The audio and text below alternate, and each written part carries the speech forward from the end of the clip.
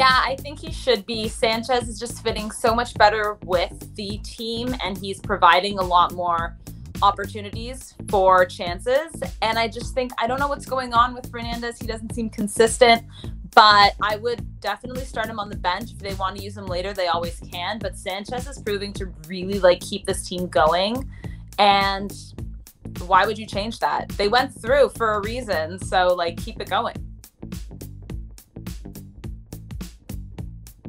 I don't think so because I don't think he is at the same level that he used to be, and that comes with age, and that's totally fine.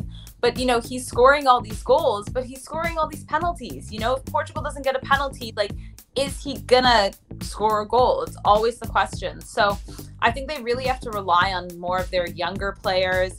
And also the fact that like we haven't seen Joao Felix yet. Like maybe you bring him in. Like he's been doing so well for Atletico. So I would not base this team around him right now, not at this time, especially going against a team like Belgium that are so strong.